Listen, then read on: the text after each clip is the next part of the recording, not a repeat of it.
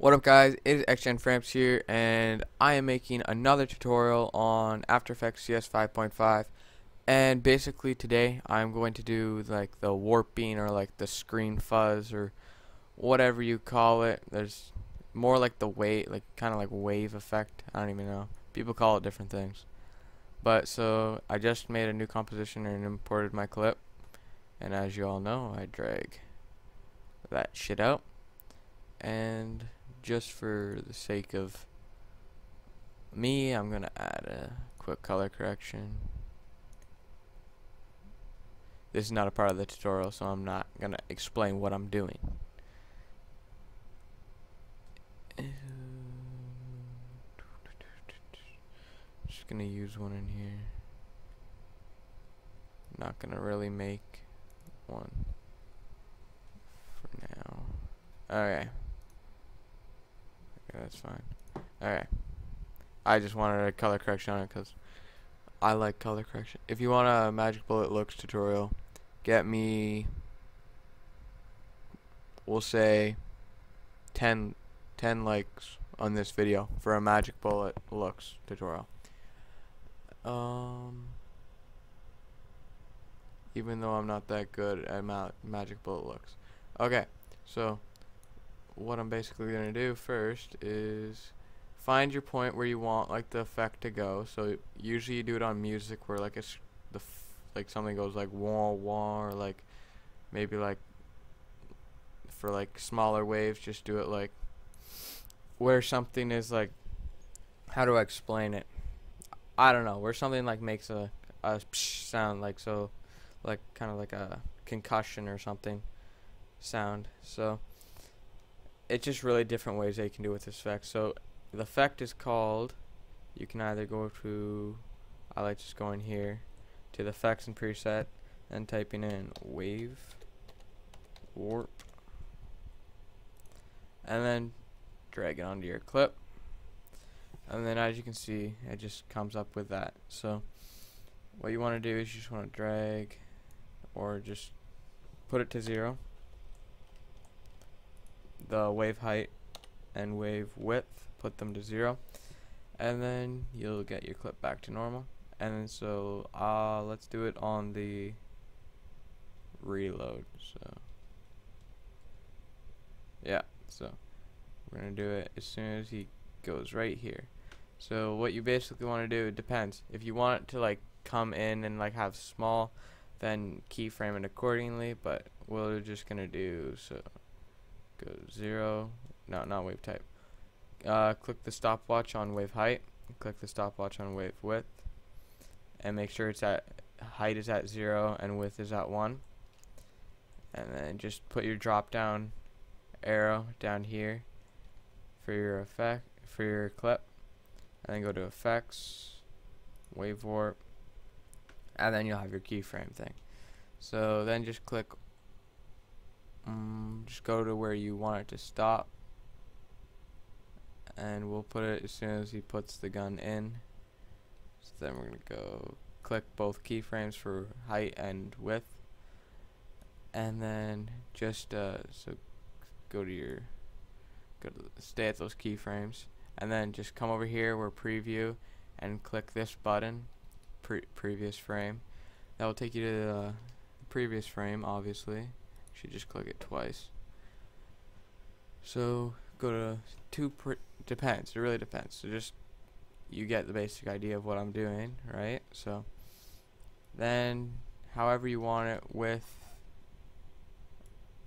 you can move it up. Hmm.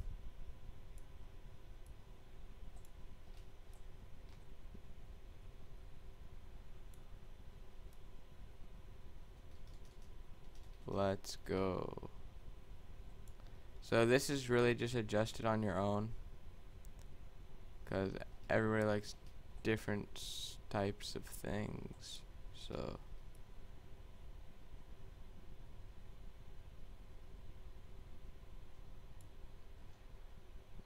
I don't know, that's okay. So see as you can see like see how I have it at 0 and 1 here and then so it can like start like it can move up so it can change but I like it I want it at the same So we're just gonna see what it was again. So it's at 11 and 12 and 27. So we're just gonna go one keyframe over, click there, type in 12, 27, and as you can see, we just have this wave. It's staying still though, so we don't want that. So now we're gonna go to your second keyframe where you put your actual thing or your first whichever one and click phase and keep that at zero for the first. And then go to your last keyframes where it ends and just bring it out to however if you want the waves to be like moving faster drag it out more. If you want them to move in slower uh, drag it out less so and actually, yeah, okay. Let's move this in a little bit. Alright.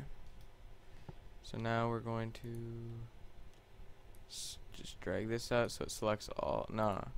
Drag this out so it selects all my keyframes because I want to go on for a little longer. So now I'm going to render preview that.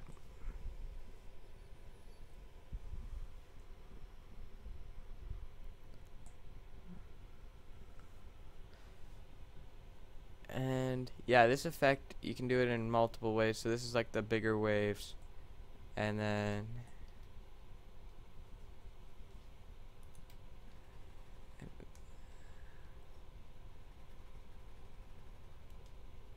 so there's the basic idea of how to do the waves like the bigger waves and yeah we have time. So I'm gonna just show you how to do the smaller waves so just move these in a little bit again. Smaller waves you don't want them on for a long so I like, my personal favorite is having the wave height at 6. So now I'm just adjusting the, the inside keyframes here, right? To, uh, yeah, you know what I mean. So then adjusting the width to 5.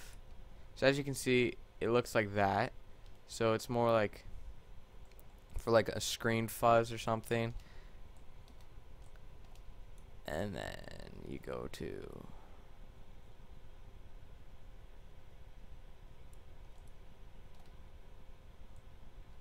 five again. So now as you can see and then also you might I'm gonna add some uh, like direction to it. So you sometimes people don't want it just straight especially for this effect for the normal wave people usually like just having it at the standard zero right but I like especially when you're having like the smaller waves to go to 115 that's what I found looks the best for the direction.